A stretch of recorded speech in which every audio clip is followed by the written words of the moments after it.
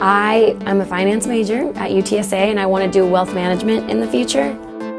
I think the benefits that I've gotten out of the UTSA Honors College are the, all the people I've met, all the contacts I've made. I know people that, you know, they will work for great companies someday. If you're an honors student at UTSA, then you work hard, you like, you care about your grades, you're more willing to strive for excellence.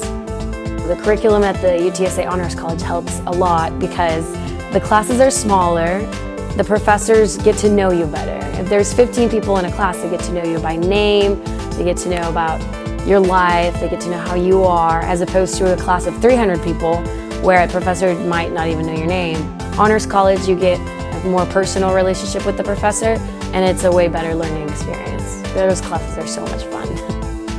if you have the GPA, all you get is advantages out of it.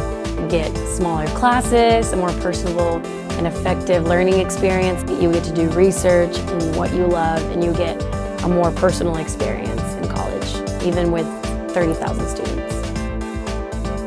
Your opportunity is at UTSA.